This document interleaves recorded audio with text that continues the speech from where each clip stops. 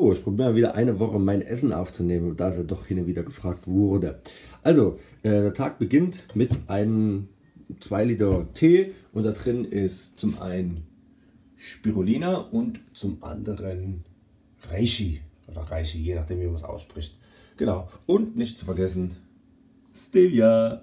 So, jetzt ist Mittag und es gibt wieder 2 Liter ähm, ja, Tee und dazu werde ich mir jetzt diese Sprossen alle entsaften in den Kühlschrank stellen. Das ist ein Mix aus Brokkoli, Alfalfa und aus Hanfsamensprossen und da hinten sind Linsensprossen.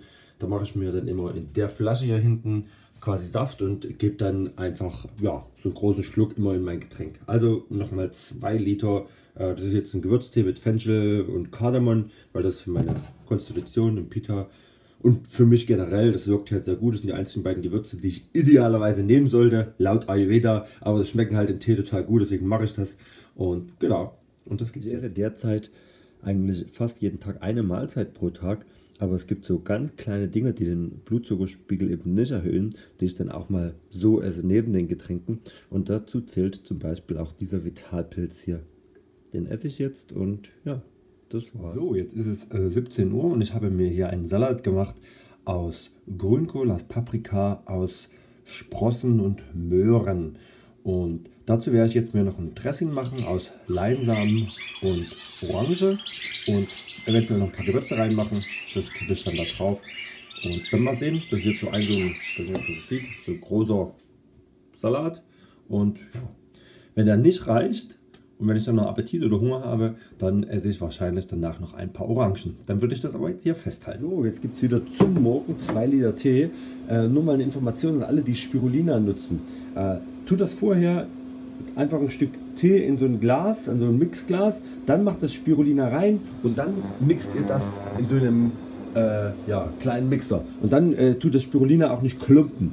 Und zusätzlich zum Spirulina und dem Reishi-Pilz kommt jetzt in meinen Tee der Saft von den Sprossen gestern.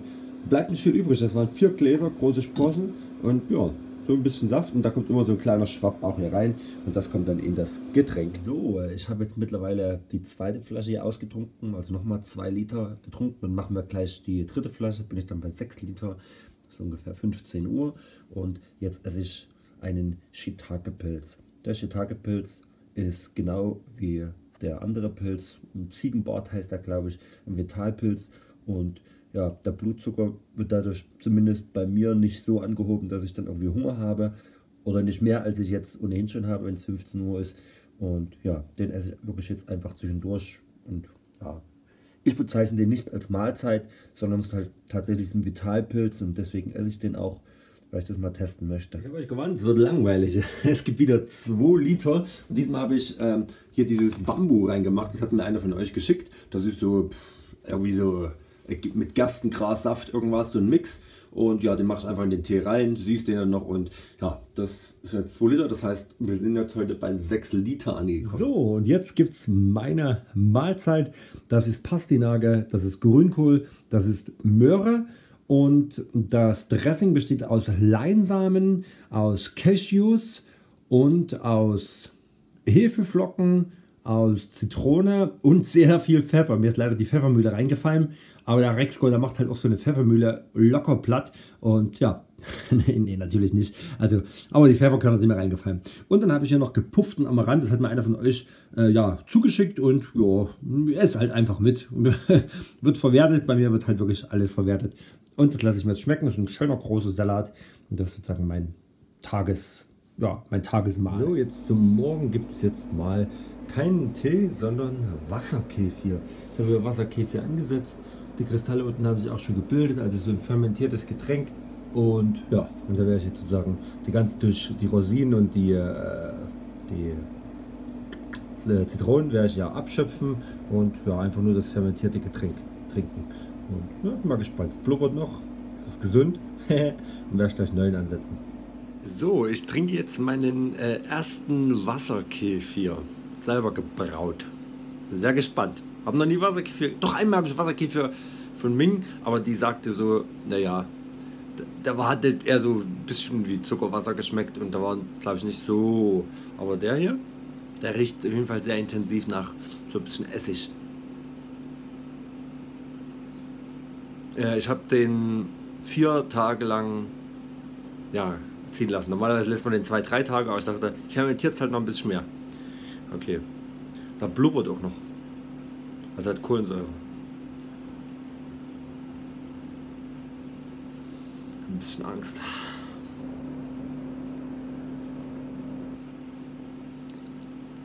Uah. Schmeckt wirklich ein bisschen wie Essig. Oh, deswegen sollte man den wahrscheinlich noch zwei, drei Tage ziehen lassen.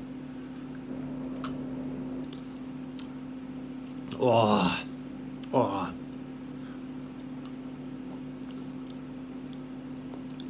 Aber man gewöhnt sich dran.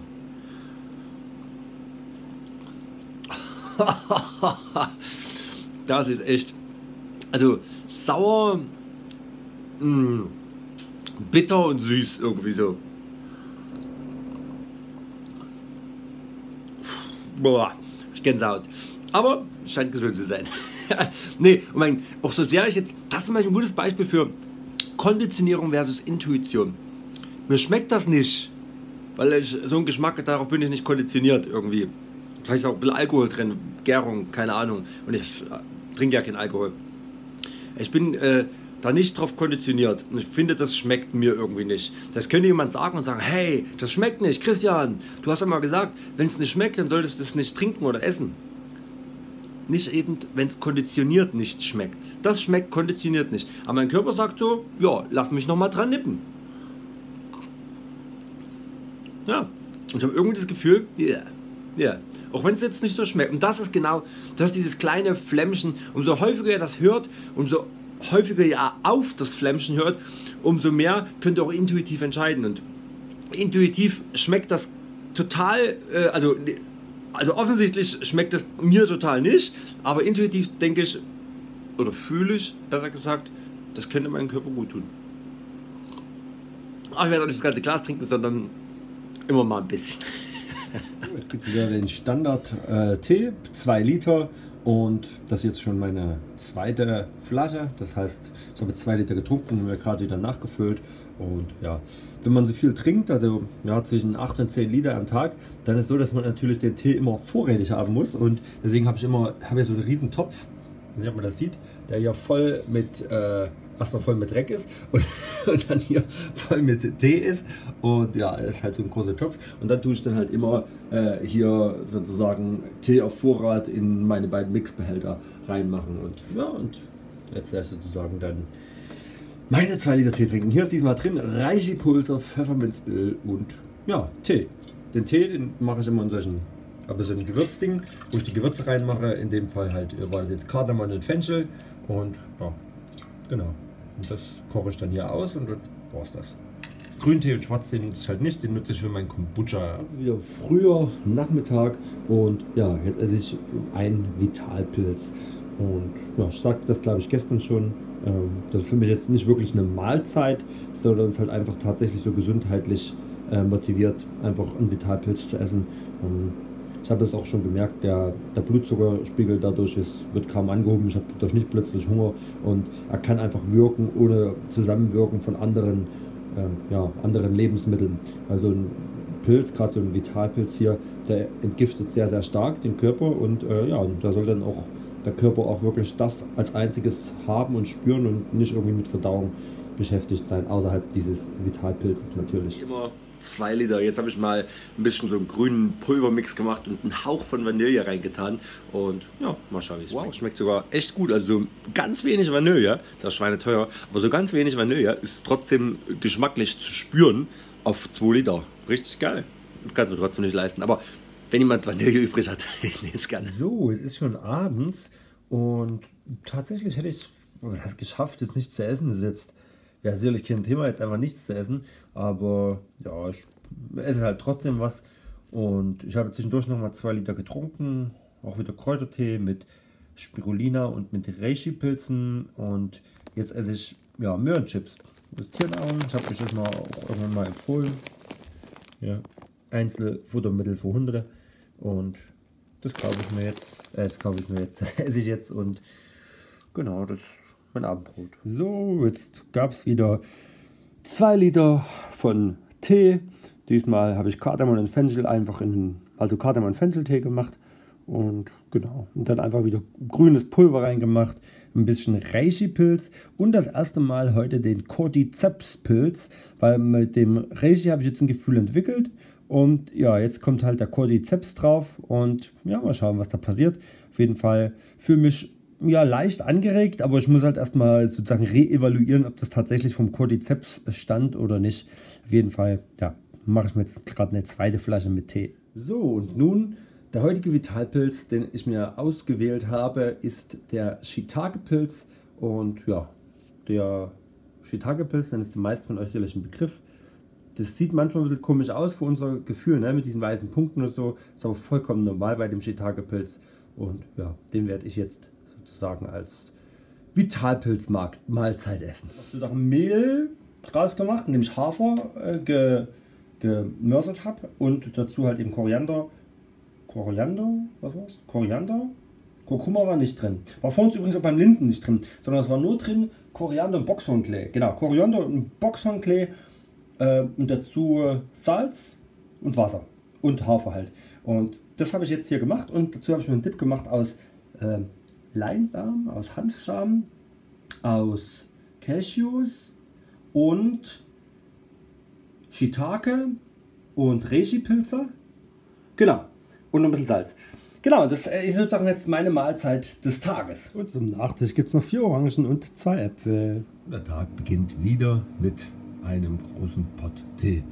Meine Mahlzeit des Tages ist heute ein Salat aus Grünkohl, aus Möhren, aus Tomaten, aus Gurken, aus Blumenkohl und ja, das alles wieder mit einem Leinsamen Dressing, was besteht aus ja, Leinsamen, Wasser und Schnittlauch.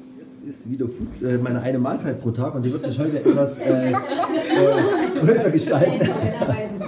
ja, also es ist halt ja, sehr, sehr lecker. Das ist übrigens von mir, das ist Rohkostbrot mit einem Vitalpilz-Dip. Sehr, sehr lecker. Aber wahrscheinlich stinke halt ab gegen die vielen Köstlichkeiten hier, die vor allem sehr, sehr süß sind. Trinken gibt es den ganzen Tag auch wieder diese ähm, Kräutertee, Vitalpilz, Ingwer, Kurkuma-Mischung, wie auch immer. Wisst ihr Bescheid. So, das war's dann für die Woche.